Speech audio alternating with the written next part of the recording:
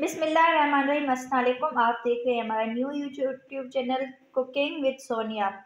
और आज हम बना रहे हैं चने, ढाबे जैसे चने बनेंगे। अब घर में वो बहुत ही आसानी से। हमने ये पानी लिया हुआ है, चार कप पानी है। और अब हम इनमें डालेंगे चने जो हमने पूरी रात भिगो के रख दिए थे। अब इनको हमने गलाना है, एक घंटे तक हम इनको इसे पकने देंगे। और ये लिए हमने हल्दी, आधा चम्मच और नमक, आधा चम्मच। ये दोनों चीज़ें हम इनको ऐड कर लेंगे और हम इनको थोड़ी देर के लिए पकने देंगे, एक घंटे के लिए पकने देंगे। हम इनमें थोड़ा सा चमक चलाएँगे ताकि ये मसाले एक चार हो जाए। अब इनको हम ढक देंगे एक घंटे के लिए, ठीक है? जी तो हम देखते हैं कि हमारे चने गल गए कि नहीं, हम इनको गलाते हुए आधा घंटा हो गया है। देखने में तो ठीक लग रहे हैं। जी ये देखिए, मक्खन की तरह गल गए हमें ऐसे ही चने चाहिए थे। अब हम आगे की रेसिपी की तरफ़ चलते हैं, ठीक है? कुकिंग ऑयल आधा कप तकरीबन। अब हम इसमें डालेंगे ज़ीरा, तेज़पात, दालचीनी, तीन से चार लौंग और एक बड़ी इलायची, ठीक है? ये सारी चीज़ें डालकर। लो आँच पर हम इनको एक मिनट तक पकाएँगे। बिल्कुल लो आँच रखनी है हमें। ठीक है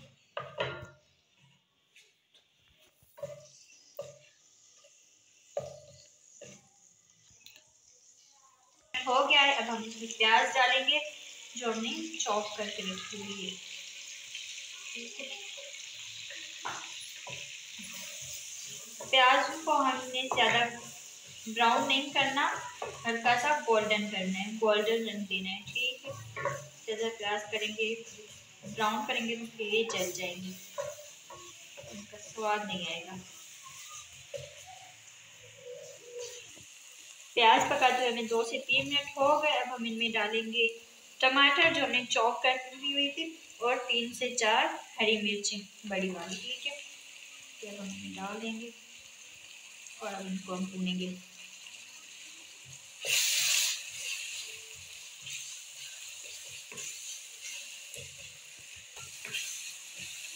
इनको भूनते हुए दो से तीन मिनट हो गए, अब हम इनमें मसाले डाल देंगे लाल मिर्च आधा चम्मच आधा चम्मच हमने हल्दी ली हुई है, और ये आधा चम्मच हमने चिली फ्लेक्स लिए हुए और आधा चम्मच नमक दिया हुआ है। सारा मसाला इसमें डाल देंगे। अच्छे से मसालों को भूनेंगे तब तक, जब तक इसका ऑयल ऊपर नहीं आ जाए टमाटर को भूनेंगे।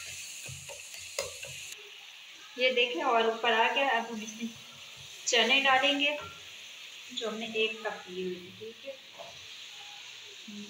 गला के रख दिए थे। अब हम इनको भूनेंगे अच्छी तरह से भूनना है देखिए दो से तीन मिनट तक हम इनको भूनेंगे।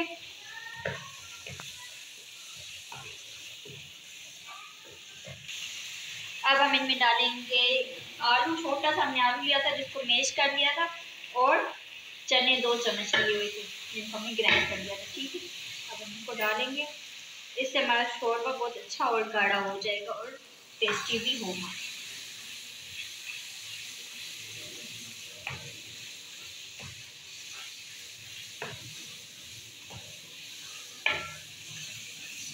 दो मिनट तक इसकी बुनाई करेंगे।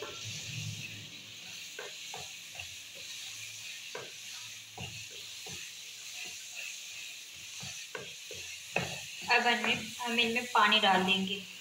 एक कप हमने पानी लिया हुआ है, जो हमने थोड़ा थोड़ा करके इनमें डालना है।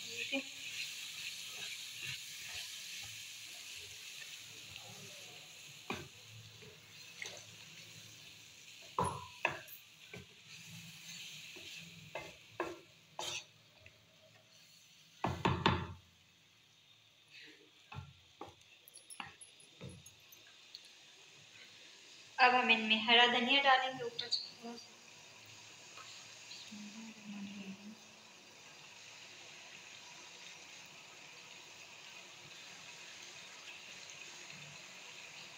और दो से तीन मिनट तक हम इनको हल्की सी आँच पर, मीडियम आँच पर पकाएँगे।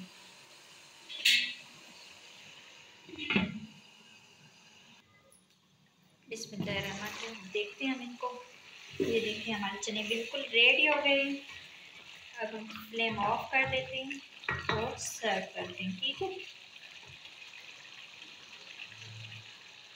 सर्व करते हैं। तब तक आप हमारे चैनल को सब्सक्राइब करें लाइक करें और शेयर करें। हमने न्यू यूट्यूब चैनल बनाया है और हम चाहते हैं कि आप सब हमारे चैनल को सब्सक्राइब करें।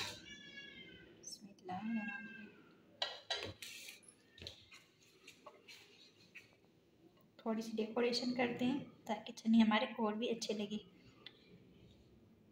इसके साथ हमें दीजिए इजाज़त और अपना रखिएगा। बहुत सारा ख्याल।